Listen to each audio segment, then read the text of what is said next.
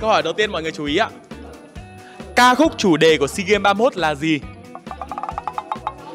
5 4 3 2 1 Xin mời.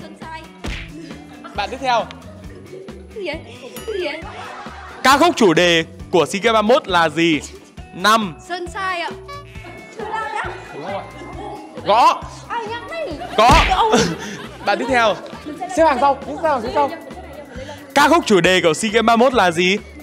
5 sai. Chính xác, chính xác, chính xác Dạ. Đây là một câu nói Câu nói sẽ là Bạn muốn chơi cùng mình ư? Cùng chơi thật vui nhá Đây là câu thoại của vị tướng nào? 5 4 Nami. 3 Nami. Gõ Ani á. Câu trả lời tiếp theo À. À.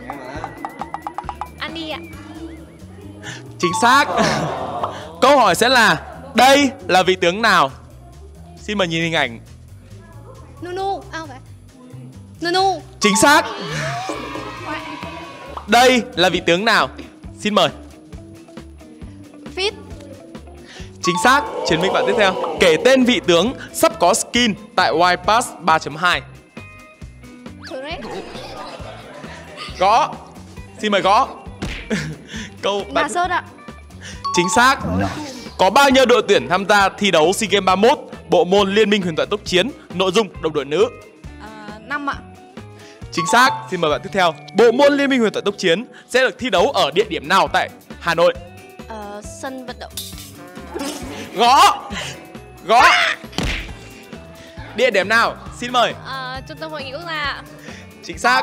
Bạn tiếp theo. Bộ môn Liên minh huyền thoại tốc chiến đạt thành tích gì ở kỳ SEA Games trước Bạc ạ. Gõ À, đây là kỳ sinh viên đầu tiên mà Liên minh thời gian chiến tham gia. Chính xác 3, 2, 1, vô